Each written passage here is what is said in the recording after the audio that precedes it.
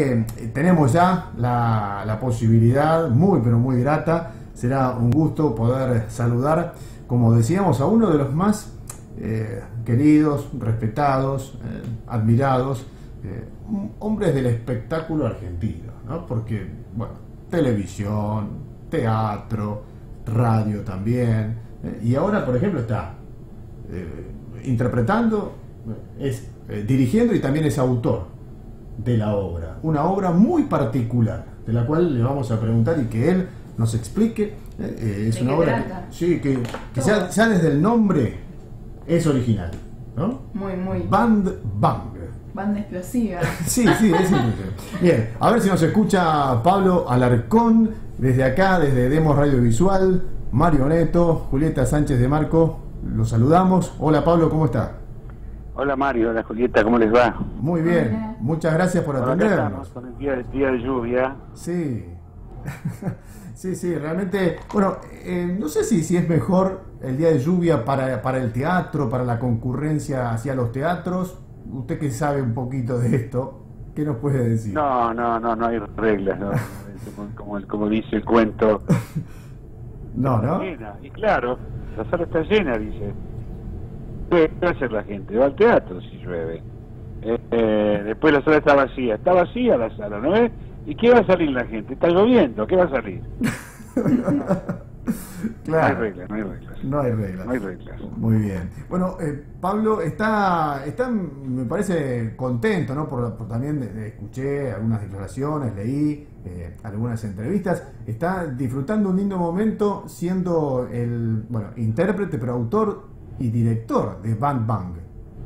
Sí, sí, sí, sí, sí. Todos los rubros. Estamos haciendo Bang Bang en el Teatro del Cubo los días domingos a las 5 de la tarde. Es un espectáculo para toda la familia, un espectáculo que se puede encuadrar dentro que se llama teatro gestual, teatro expresivo, más cerca del circo que del teatro, porque tiene que ver con acrobacia, tiene que ver con música, tiene que ver con humor y y es un teatro eh, con máscaras, hecho por artistas de la calle, muchos artistas de la calle, son artistas que yo eh, probé, seleccioné en el subterráneo de Buenos Aires, junto con actores profesionales, la estamos haciendo hace tres meses, con, con bastante éxito, muy contentos con los resultados, así que espero que vayan a verla, ¿no? Ban Teatro del Cubo, ese justo, queda justo, justo detrás del Shopping Abasto. Celaya 3053. Ahí está nomás. Una sala hermosa, un teatro muy lindo y un espectáculo del cual yo me siento orgulloso de hacerlo. Y Pablo, es un espectáculo realmente original y tengo entendido que no se había hecho en la Argentina hasta el momento, ¿es así? No, no, este es un género de teatro que no se practica en Argentina. Eh, hay algunas compañías de Europa, sobre todo del norte de Europa, que lo hacen, hay dos o tres compañías muy prestigiosas y, talentosas, por cierto, que lo hacen, eh, y es un teatro, un género casi, que te digo, compañías que tienen 20, 25 años, ¿no? Y no se hace en América, creo, no tengo entendido que no, que no y en Argentina menos.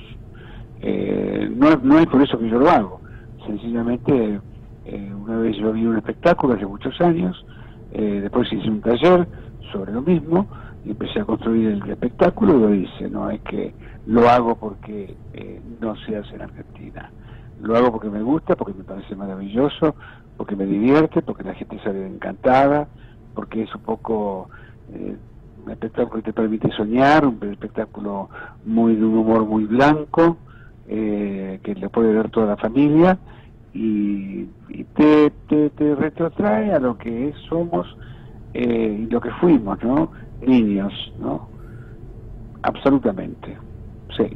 En el, en el espectáculo está un actor profesional de muchos años, que es mago, payaso, acróbata, músico, Ernesto Segal, amigo personal, está Marcos Rodríguez, pianista de jazz, está Isaías Letelier, guitarrista de Subterráneo de Buenos Aires, eh, Ángel Camps, también guitarrista de Subterráneo de Buenos Aires, está Javier Benítez, músico de, acordeón maravilloso, intérprete, está, eh, bueno, mira, somos tantos, está mi hija Agostina Alarcón, claro, claro, Enzo, Enzo de Matreis, está en acordeón, eh, Mariano Frumento, piano, Juan Eguiguren, acróbata, que es un hombre excepcional, con un aro, maravilloso, eh, bueno, somos, somos un montón. Y, Pablo, tengo entendido que Agostina, precisamente, es una muy buena acróbata, pero más allá de que, bueno, sea en este momento la hija ¿no? del autor y director de la obra, tuvo que audicionar como todos.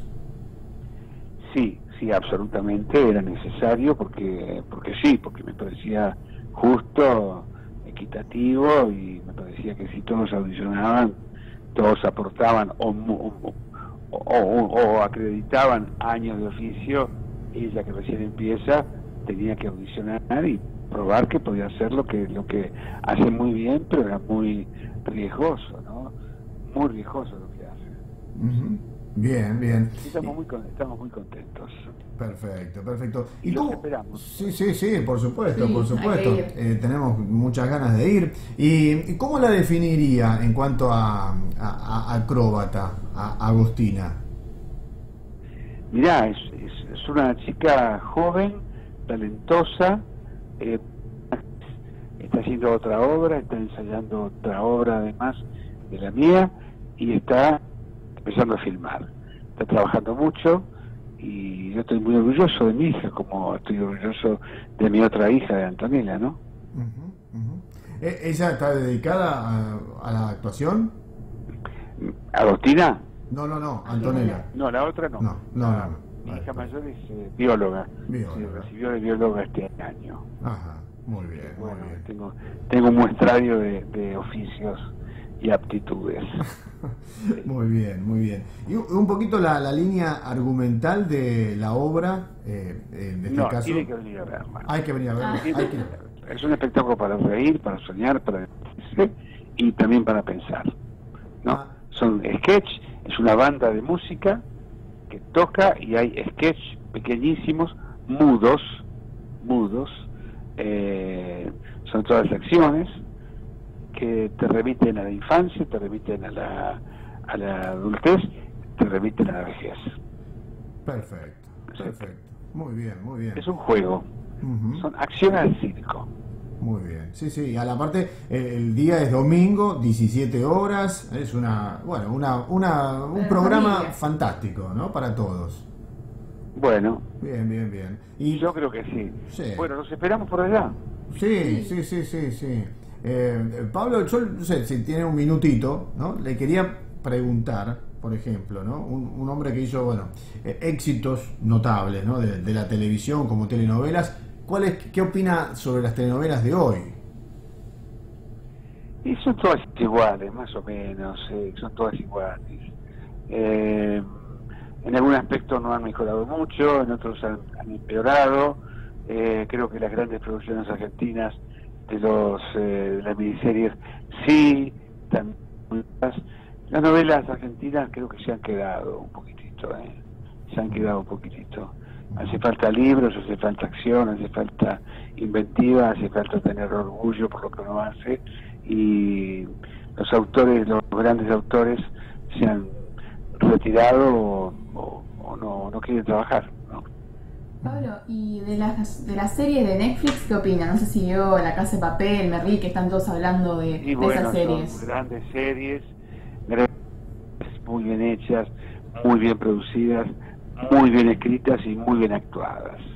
Eh, las, la serie de Netflix, bueno, eh, Un gallo para Julapio es argentina y estuvo muy bien hecha, muy bien hecha.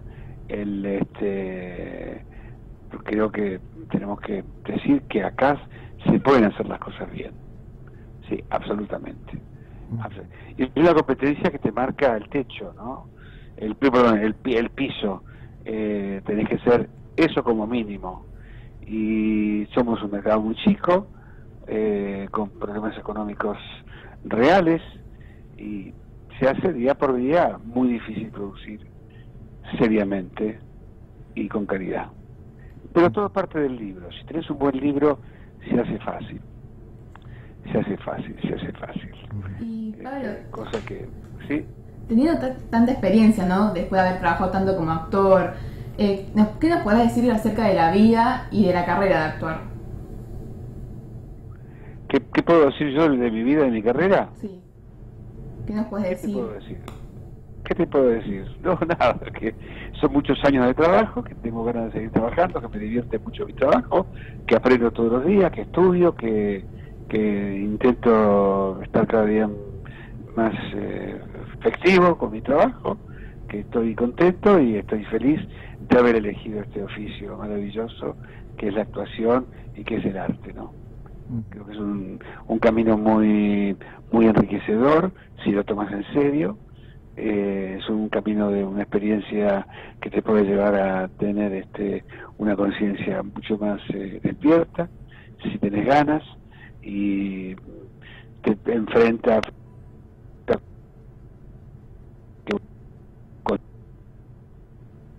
y con todo lo que uno tiene que mejorar como persona. Muy bien. Todo eso. Muy bien. Pablo Alarcón, Y encima- muchísimas Y sí. encima, es, y encima es, es divertido. Sí, imaginamos. Y es divertido. Y en este caso, bueno, trabajando con la hija, ¿no? También. Con mi hija. Exacto, exacto. Eso a veces es divertido y a veces pero bueno eh, Claro. yo la amo ella me ama también nos llevamos bien pero este habiendo un vínculo familiar se hace un poquito más difícil Ah, pero bueno nada todo Bien. se supera Bien, bien. Y, y Pablo, le, le preguntamos así al final algo que decíamos, no sabemos si preguntarle o no sobre Rosa de Lejos, porque no sé si, si le va a caer bien o mal, o sea, forma parte de la, de la, de la historia ya tuya, ¿no, Pablo? Sí, Pero, claro sí, pero- sí, sí, sí. Sí, Rosa de Lejos para la época estuvo muy bien hecha muy muy bien hecha por una directora que era obsesiva con el trabajo una autora que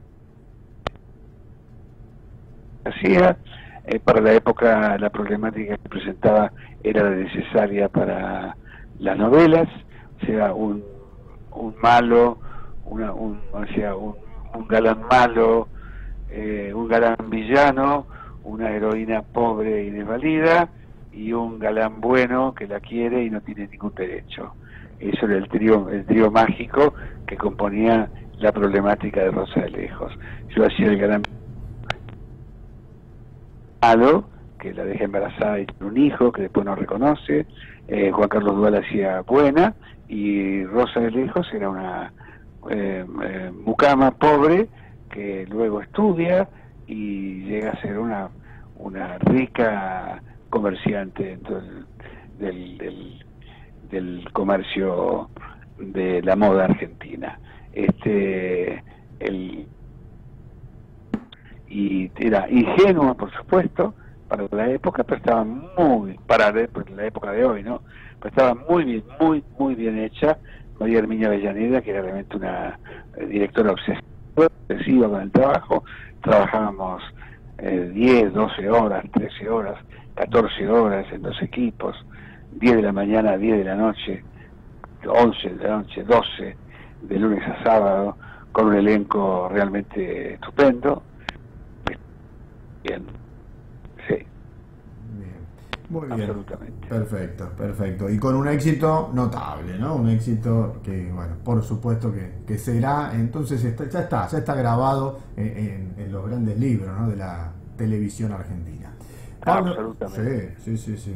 Pablo Larcón, entonces eh, estamos dispuestos a, a ir los domingos, el próximo domingo, por ejemplo, al Teatro El Cubo, a Bueno, las los 17. invito, los invito, los invito si quieren, este, ustedes dos, para que vean la obra si pueden hablar con más propiedad de lo que estamos haciendo. Y si no les gusta, les pido por favor no digan nada.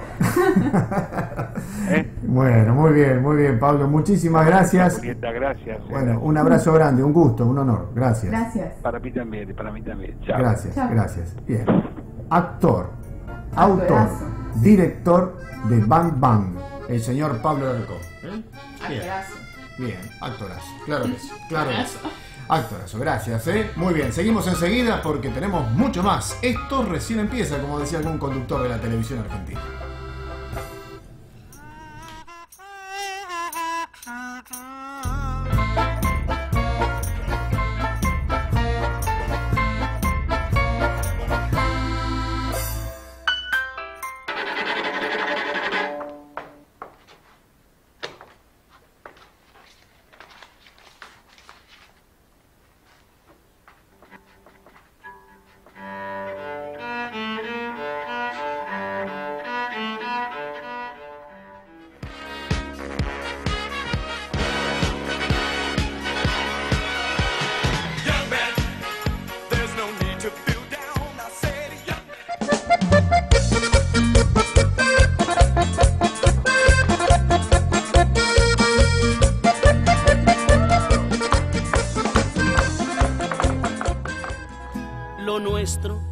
Empezar, no es de novela, ni de Romeos muriendo por Julietas